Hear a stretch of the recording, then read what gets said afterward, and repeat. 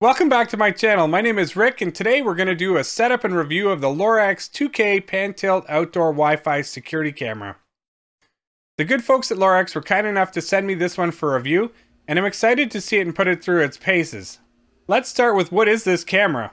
This, in, this camera in particular is an IP66 weatherproof pan tilt camera that has a 360 degree coverage area.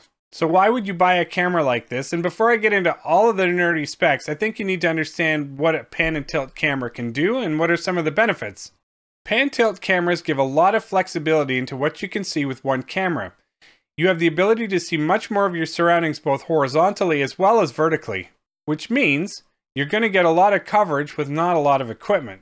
My current Lorex setup, which I've had in place since 2018, it has an NVR with five cameras and a doorbell attached, but if I was just starting out or didn't want to install a lot of equipment, I could install one of these on the garage and still be able to get a really good look around the front of my property.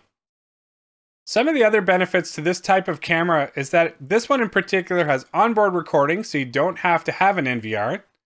It's got a power cord, so you don't have to worry about charging or changing batteries.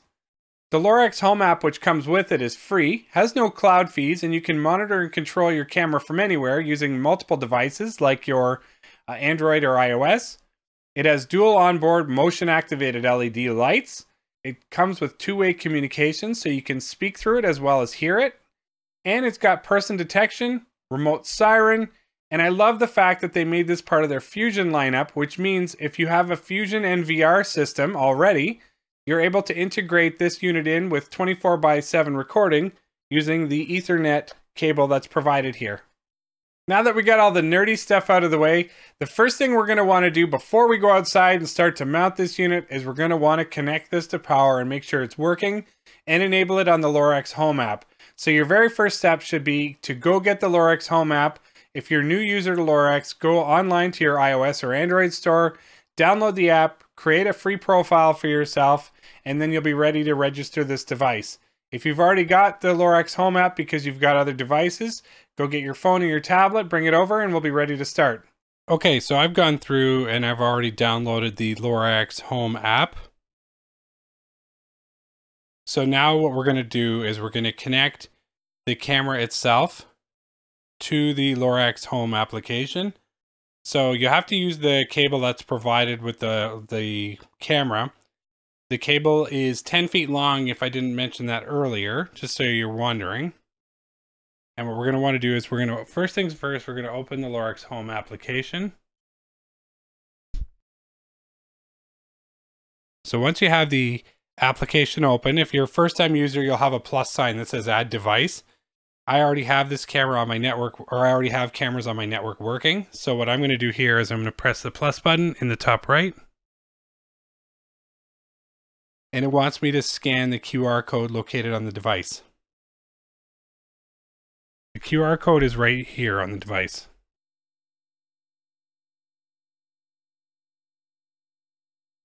So it's found the device ID and it's saying to hit next. So I've done that. So how would I like to connect it? Wireless or wired? I'm going to do wireless.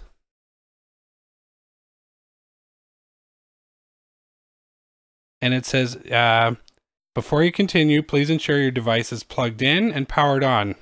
So we're going to do that right now.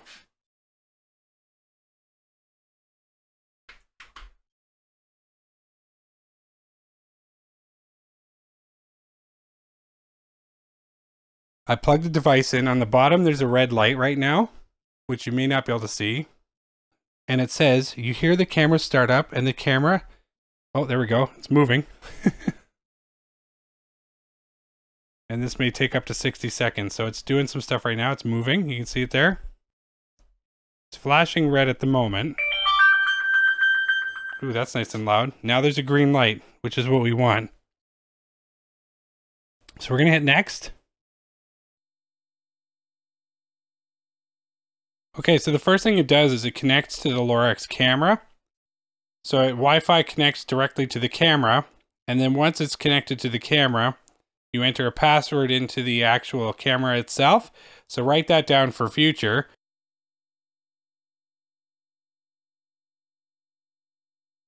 And then it asks you to connect to your wireless network.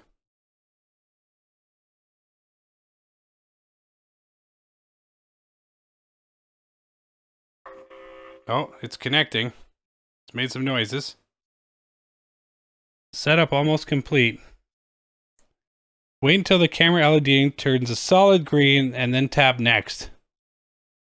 Okay, so it's a solid green. So we're to hit next. Adding device. Now you get to choose a name for it. I'm going to put garage because that's where it's going to go. Garage, and I'm going to rename it Garage PTZ. No, PT. I'm going to rename it Garage PT.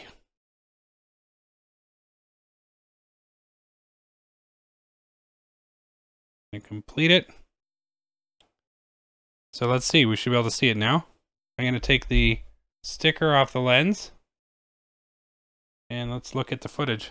Should see me. There's me. All right. Click to enable PZ, it says here. And move it around. With here. Let's turn to the side. The other side.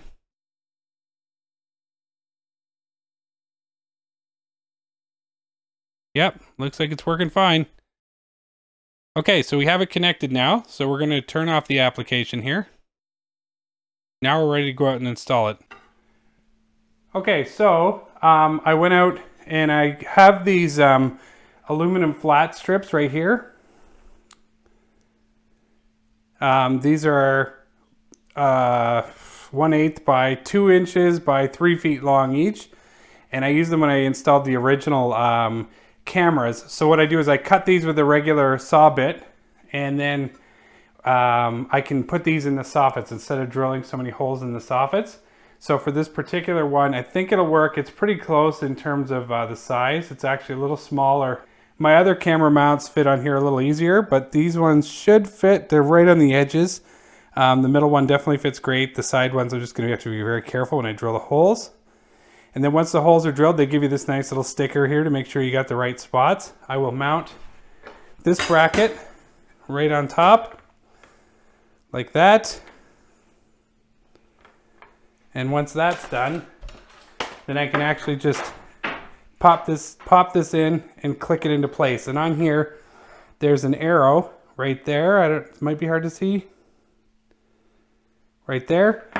And you basically put it in here and you twist it to lock it in place. So it's gonna hang like this off my roof, twist and lock into place. So, now that being said,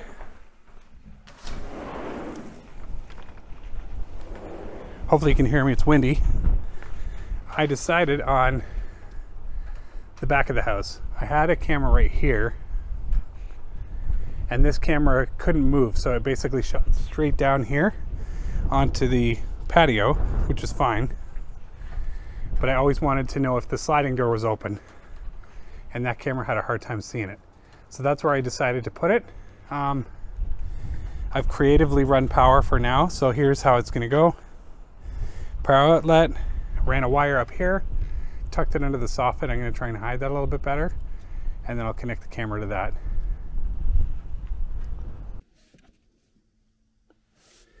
Okay, so I'm going to drill a couple holes here. These little pilot holes. So I just got three holes drilled into this piece of uh, aluminum. Let me show it to you. Here it is here. One, two, three. One's really close to the edge, but I think it's fine.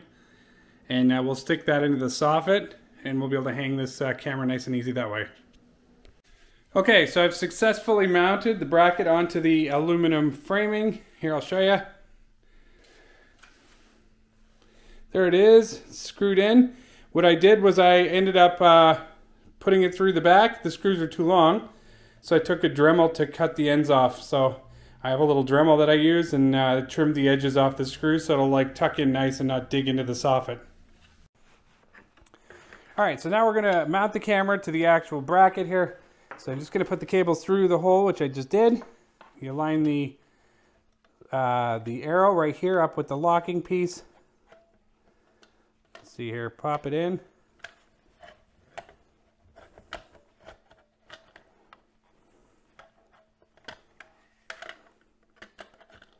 There we go.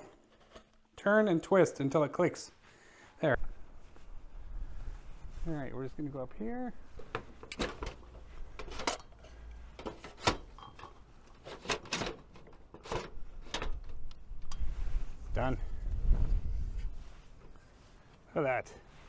In there.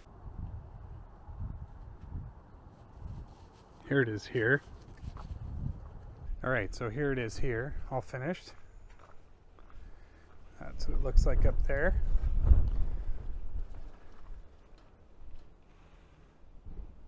Kind of do my best to tuck the wires out, but that part's a little awkward. That's the old one right there. I'll show you some comparisons of the two as well. Okay, I'm going to show you how to add your new camera to the Fusion system. Uh, just in case you want to be able to watch your footage from your PC, for example. Unless you connect the camera with the Ethernet cable, it won't record 24 by 7. So if you have it wirelessly connected, uh, it won't record it 24 by 7, but it will record the clips, uh, the motion detection. So here I will show you how to connect it to your Fusion system in a second. Okay, once you have your, uh, once you've logged into your Fusion device, here's mine here, you're going to want to click on the camera button and you're going to want to hit registration. What you'll want to do is you'll want to click the device search button and then what you'll see is you'll see your new camera come up in this in this line right here. Now I've already clicked mine, I did it a minute ago. You're going to want to click the checkbox that's on the left and you're going to hit add. Once it's added, it'll show it down here as the bottom camera. What you need to do is hit the checkbox here and hit reconnect IPC you'll be prompted for the password that you put into the device when you set it up. So you created a password for your device when you first set it up. You just enter the password in, hit reconnect, and then it will turn this uh, red red button to green. And once you've got that, you'll be good to go. So then you'll have your camera in the actual settings. And here's mine right here. So you'll be able to see it as part of your big group of cameras. All right, so here we go. We're gonna load the Lorex app and I can show you guys in the actual uh, interface on the computer what things look like.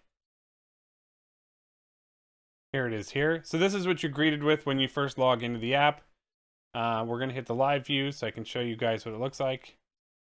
Uh, it's gonna have my default group of cameras and it's gonna load them all here on the left. So I'm gonna go my NVR. So these are my cameras right now. I actually have uh, more than four. So I have, I'll show you guys here. One on my front garage door left, one on the front garage door right, one over top of my front door. This is the backyard 4K camera. This is the pan tilt camera we're going to show you a little bit more with right now.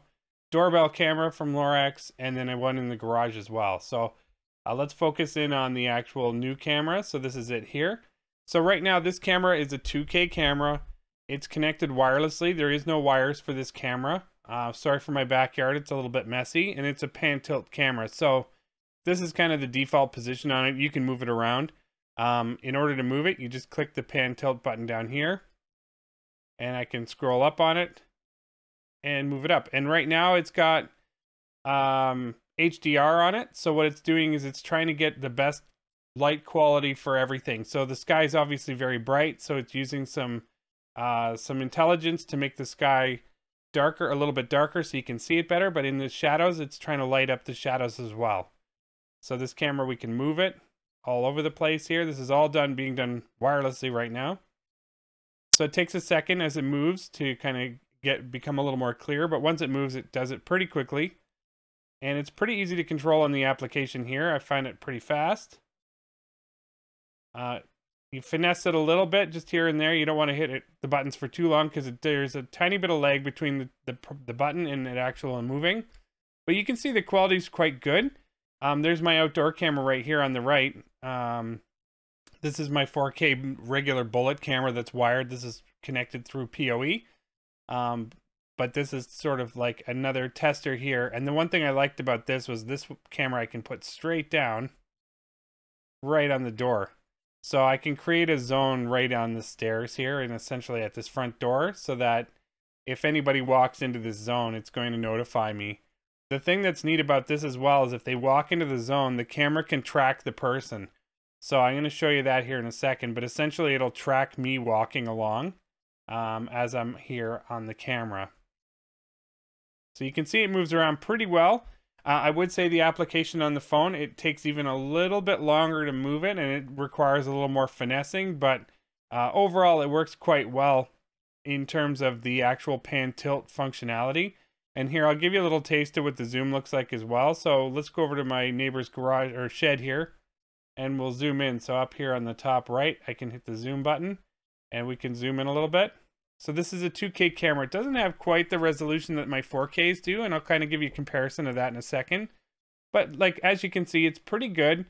Um, as you move in closer and closer, it starts to become a little more digitized but I'm still getting a pretty good feel for what's going on here. Now it's very, you know, kind of fuzzy digitized. And I think for the purpose of trying to compare it to the back, the other camera in the backyard here, I'm going to go down and look at the brick. And you can get an idea of how the brick looks right here. This is the 2K. I'm going to zoom in a bit. Still looks very clear. Um, it's quite easy to see everything. Now we're starting to lose a little bit of the detail, but it's pretty decent, right? So if I switch cameras right now, so I'm going to go to the backyard camera. So this is my regular 4K 8 megapixel PoE camera. Um, the colors are a little bit more uh, normal looking, and I think that's just because I'm not using HDR on this camera. Um, I don't need HDR for this specific scenario here because I don't have the bright sky to contend with. I'm just sort of aimed in this one spot. And then I also have the zoom here, so I'll sort of zoom in and show you there's more detail in the ground. So you can see I'd say arguably you can see detail much better with this one um, than the other one, but there's the actual pan tilt camera right there. You can see there's the wireless antennas there, and the camera can move a full 360 on the left. So this one, I still have zones here as well, and I can still see the sliding door, but it is nice to be able to look around to the right, because over here is a blind spot on the right-hand side of my camera over here. On the left, I can see all the way down the uh, the backyards to the other neighbors, but on the right, I can't see anything. So it is nice to be able to see that. So if I go back to the this one here, I can move this around here. So if I want, I can see this. And the nice thing I said like before is if I actually or somebody else walks into this zone that I've created for this camera, it's going to actually track them and follow them, which is pretty great.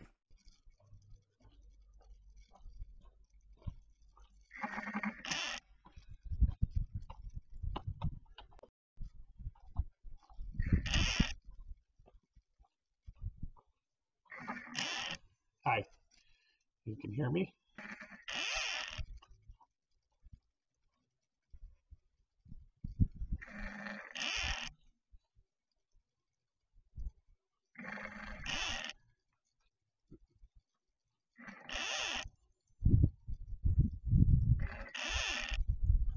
All right, so right now we're looking at the camera from my other camera, and I will say that this is a very versatile camera, and here's my thoughts on it. This camera has three different ways you can use it. If you're a user who doesn't have any security equipment at all and you have no real need or want to try and wire security cameras, you can simply purchase this camera. It's Wi-Fi, so it'll connect to your home network. As long as you can get power to it, because you do need to plug it in so that the motors can move, this could be a really good option for you. You mount this camera, you have the pan tilt functionality, you can set zones on it it does come with storage built in it, so you'll have 32 gigs built into it right off the start so that you can record either motion detection or you can record 24 by 7 if you choose to. I will say that if you decide to record 24 by 7 on a 32 gig card, it probably will rewrite itself fairly often, so you may not have a lot of days worth of footage. However, the card is upgradable. And the only other thought around that is typically with an SD card, if you're rewriting and writing to it all of the time, you will wear it out more quickly than if, say, you just did motion detection. However, cards are cheap, and if you want 24 by 7, no problem, knock yourself out. The other thing that's really cool about it is that if you're already a Lorex customer and you have an, a Lorex NVR, there's the ability to connect this hardwired with an Ethernet cable. So you could bypass the wireless side of this altogether, connect it with a hardwired cable right to your NVR, and then you have the ability to record your footage 24 by 7 as long as you have space on your NVR for another camera. So you've got the wired connection, 24 by 7 footage, and you don't have to worry about the SD card on the actual unit itself or wireless having any sort of an issue within your house or outside. So that's the second way you can do it. The third way you can do this, and the way that I have mine set up currently, is I have the Lorex Fusion system. So I'm kind of doing the best of both worlds here. I've got it connected wirelessly because it's actually very inconvenient to run another ethernet cable to the spot where this camera is for me. However, I do have the ability to record the footage 24 by 7 on my NVR regardless because the Lorex Fusion system can accept both wired and wireless cameras. So depending on how many wireless devices you have, mine can accept up to two. I could record this footage 24 by 7. So in my case, my system right now has the Lorex doorbell, which is recording 24 by 7 on the Fusion system. I could do the same with this one as well, but I've decided against it I'm actually letting the camera record the footage on the SD card. All I need is the motion. I don't really care about 24 by 7 for this particular device because I already have this other backdoor camera as well that already does that. And I'm going to use it that way. So like I said, it's really versatile in terms of how you can configure it and set it up. It's very straightforward for a basic uh, beginner user, but it can also be much more advanced for somebody who's got a more complicated setup or who's got something with a little more um, in terms of cameras and, and how they're working their system. Hey guys, just about to wrap up this video, but I wanted to give you some final thoughts on the Lorex 2K pan tilt Wi-Fi camera. There's a lot of pros to this camera and I think there's going to be a lot of people out there who want a simple system that doesn't take a long time to install, that isn't complicated with an NVR and lots of cables. They're going to like this type of a camera. And it also comes with a ton of features and a lot of pros to that, which is big field of view with that panning and tilting. It comes with the sirens, the lights. It comes with the back and forth communication, the person detection. Also doesn't have cloud fee storage. All good things. Um, the one thing I didn't like about the camera was the power cord. I like the fact that it's powered, so I'm kind of on the fence with that part of it because I don't want to have to change a battery. But knowing that most people have a home with probably an outlet at the front of their house and the back of their house, means you have to actually figure out how you're going to get power to the camera. So the good news for folks in the US, if you don't want to tackle a project like that, Lorex works with a company called InstallerNet. They can come and do that work for you. Obviously, there's a charge for it, but they can probably do it a lot neater and cleaner than you'll be able to do it. In Canada, that InstallerNet's not available yet, but there are companies out there that could definitely come in, or even an electrical contractor if you really wanted to clean up the wiring and make it easier to look at. Um, the risk that I thought of when I was wiring it was that if I have an outlet near the ground and it goes up to the camera, it's it leaves the camera a little bit vulnerable. Um, the one good thing I would say is that because of the motion detection and zones, if somebody was to walk into that area, I'm going to get a notification. It's going to have footage on the camera. And even if they cut the camera power, I would still be able to see what happened at that time. Um, so there's always risks with security equipment. Everything's vulnerable if you want to be, you know, I could throw a rock at one of my PoE cameras too, and it would probably knock it off. So, you know, you've got to take it with a grain of salt. There's also ways that you can protect your power if it is near the ground. There's boxes you can put around the outlet so people can't unplug it, that kind of thing. But that was the only negative. I, from an aesthetic purpose, I just found it a little more tricky to make it look nice so it doesn't look ugly on the side of my house. Um, but I'm also not the person to go hire a contractor or somebody to actually make it look good. So uh, for the price of the camera, it might be worth having an electrician come in and actually make it look good for you on the side of your house. Overall, that was my only gripe with the entire thing. I really do like the camera. It's a nice add to my system, and I hope you guys find the same thing. Um, if you are interested in the camera, I've got some links down below. I've also got links to just Lorex, the website, and the different promotions they have. If you buy direct from them, they seem to have a lot of promos through the year. Um, click on the links, you'll see some stuff there, and potentially maybe you'll find that camera or a full security system if you guys are interested in more than just the, um, the wireless camera. So if you have any questions, please leave them for me. Thanks for watching the video. It's nice to see everyone again. It's been a while since I've had a video online, so looking forward to doing a few more, and I've got a, a few more security things I'm going to do over the next little while.